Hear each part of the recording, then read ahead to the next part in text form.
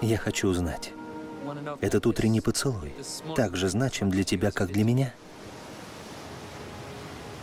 Кажется, я получил ответ.